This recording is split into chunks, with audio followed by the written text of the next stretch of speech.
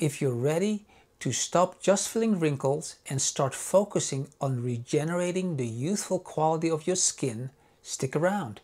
We're going to cover everything from the basic science to advanced injection techniques and customized treatment plans.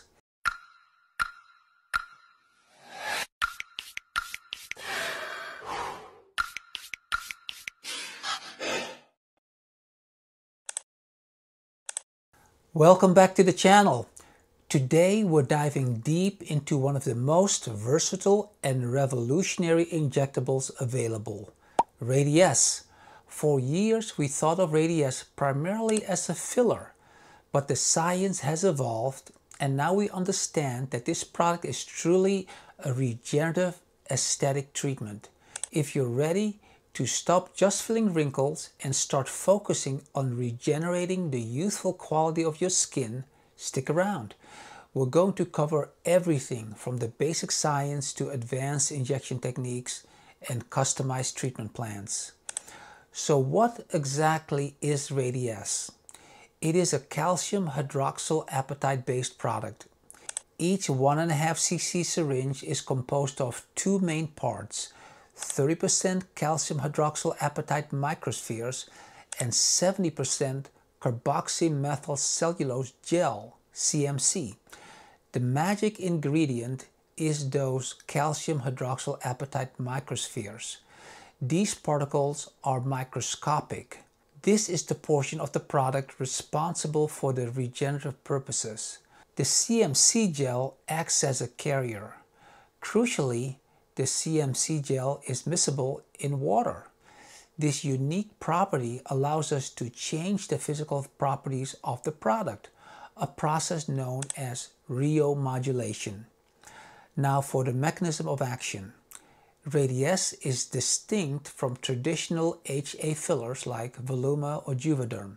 Radiesse works via a one-step mechanical activation of fibroblasts. These microspheres provide a substrate or a scaffolding in the extracellular matrix, ECM. These microspheres provide a substrate or a scaffolding in the extracellular matrix, ECM, for your body's fibroblasts to attach to and stretch out on. This stretching stimulates them to produce new long-term proteins including collagen type 1 and type 3, elastin, and proteoglycans. This leads to progressive improvement in skin quality, including increased skin elasticity and snapback. The ability to rheomodulate Radiesse is what gives it unparalleled versatility. By adding a diluent, typically saline or water, we can adjust the product's physical properties specifically its G prime or elastic modulus, which is its ability to resist deformation or provide lift. We categorize these dilutions into four main areas. Number one, undiluted Radiesse. This is injected straight out of the syringe. It has the highest G prime of any non-permanent filler on the market. Undiluted is ideal for structure definition, and lift. We typically use this for areas like the cheekbones, chin, and jawline. 2. Hypodilute Radiesse. This involves adding up to 1.5 cc's of diluent, such as the unlabeled dilution of 0.26 cc. This slightly softens the G' prime while still providing excellent lift and structure. 3. Dilute Radiesse. 1 to 1. This uses 1.5 cc's of Radiesse mixed with 1.5 cc's of diluent, 3 cc's total volume. This dilution maintains just enough G' prime to provide global volumization and lift around 27 pascals. This ratio is associated with the highest amount of biostimulation and is excellent for submalar hollows, temples, and nasolabial folds. 4. Hyperdilute Radiesse 1 to 2 and above. This is any dilution of over 1.5 cc's of diluent. At this stage, the G prime is often zero and we are primarily using Radiesse solely for its regenerative properties and skin quality improvements. 1 to 2 dilution. 1.5 cc's of Radiesse plus 3 cc's of diluent equals 4.5 cc's total is generally recommended for most areas of the body like arms and decolletage.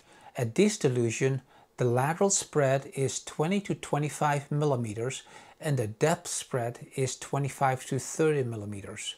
1 to 3 dilution, 1.5 cc's of Radiesse and 4.5 cc's of diluent equals a total of 6 mLs.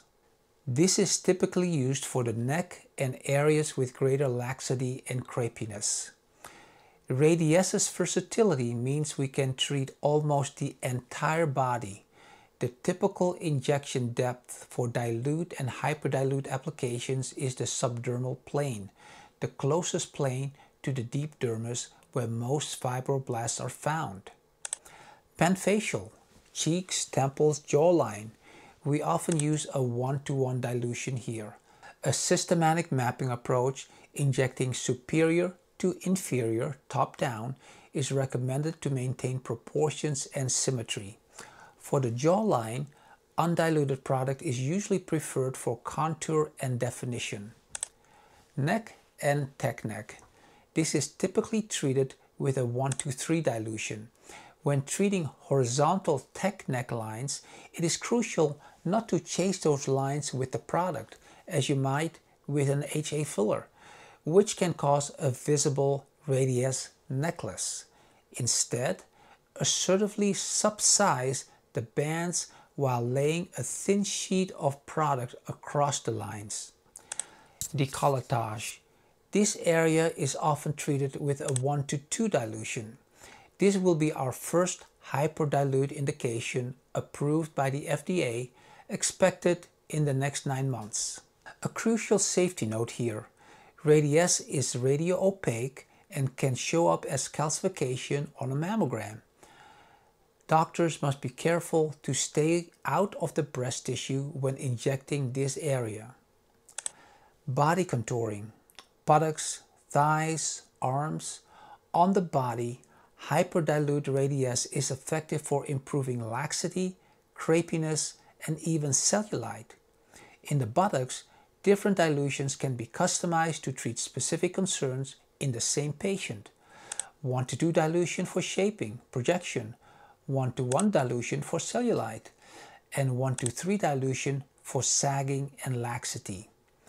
The general rule is 1 syringe undiluted volume per 100 square centimeters, about the size of the palm of your hand. Radiesse is frequently combined with other treatments to achieve synergistic effects. We often see it used with threads or even growth factors like PRP or PRF, which can replace saline as the diluent for faster, excellent outcomes. But a particularly exciting hybrid approach is the GOLD protocol, which blends Radiesse with Belotero Balance, a hyaluronic acid filler, and a neuromodulator like Xeomin. This combination is frequently used for treating the neck. The typical ratio includes a 1 to 3 hyperdilution and includes 1 syringe of Radiesse, 1 syringe of Belotero Balance, and Xeomin toxin plus saline to reach the final volume. Here's why this hybrid approach is so effective. Number 1. Belotero Balance HA provides immediate fill, smoothing and hydration.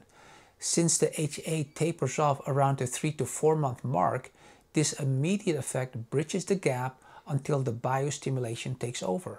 2. Xeomin, botulinum toxin. When injected into the subdermal plane, a technique similar to microtox, the toxin provides skin quality benefits such as reducing pore size and sebum production. This provides a different kind of wrinkle relaxation focused on the dermal structure rather than muscle paralysis. 3. Radiesse provides the long-term regenerative effects increasing collagen and elastin. Patient safety is always paramount. Vascular occlusion. Because Radiesse has the highest G' prime undiluted, injection must be precise. The management protocol for a vascular compromise caused by Radiesse is virtually identical to that for hyaluronic acid fillers. The key steps include hyaluronidase injection used to reperfuse tissue and help disperse the CMC gel, not dissolve the calcium hydroxyapatite particles. Massage and warm compresses, aspirin and low-dose steroids. Nodules, focal accumulations. This is the more likely adverse event, often caused by product accumulation, particularly with hyperdilute applications. Note that these are typically nodules, accumulation of product, and not true granulomas, which would be an inflammatory response. The only location where true granulomas have been reported with Radiesse is in the lips, which is why Radiesse is strictly contraindicated for lip injection. If a patient reports lumpiness or bumpiness within the first two weeks, daily massage, for example in the shower or while applying lotion, is recommended to smooth it out before it hardens into a nodule.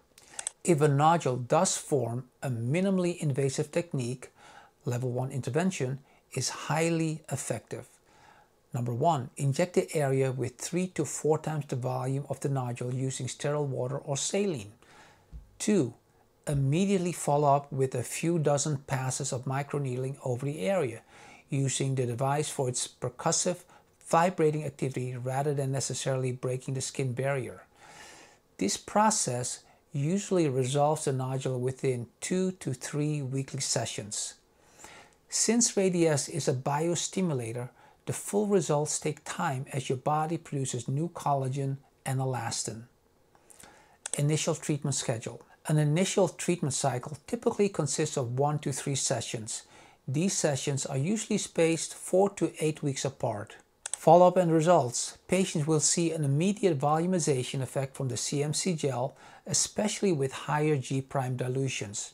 However, this gel gradually dissipates the collagen and elastin production progressively improves the skin quality over time, with results often continuing to improve up to 7 months after treatment. Duration of effect. Anecdotally and based on histology showing similar amounts of collagen creation compared to products like Sculptra, the results from hyperdilute Radiesse treatments are expected to last around 2 years. For undiluted or hypodiluted applications, the duration is often similar to traditional fillers. Maintenance. The goal is preventing the patient from returning to baseline. After the initial 1 to 3 treatment sessions, annual maintenance treatments are generally recommended, serving as a top-off session to sustain the regenerative effects. Radiesse truly stands out as a unique product in aesthetic medicine. It moves beyond simply filling by actively regenerating the key components of youthful skin, collagen, elastin, and proteoglycans. Whether used undiluted for contouring or hyperdiluted for skin quality, its customizability is amazing, allowing you to tailor treatment sessions based on the patient's specific needs and skin characteristics. The future of Radiesse looks incredibly promising especially with the introduction of hybrid protocols incorporating products like Belotero Balance and Xeomin, maximizing both immediate satisfaction and long-term regeneration. We covered a lot of advanced material today. I hope this deep dive into the science and application of Radiesse has been insightful. If you found this information helpful, please hit that like button. It really supports our channel. Subscribe for more deep dives into regenerative aesthetics and clinical practices. And let me know in the comments below, have you experienced the regenerative power of Radiesse or are you considering it? I'd love to hear your thoughts and answer your questions. Thanks for watching and we'll see you in the next video.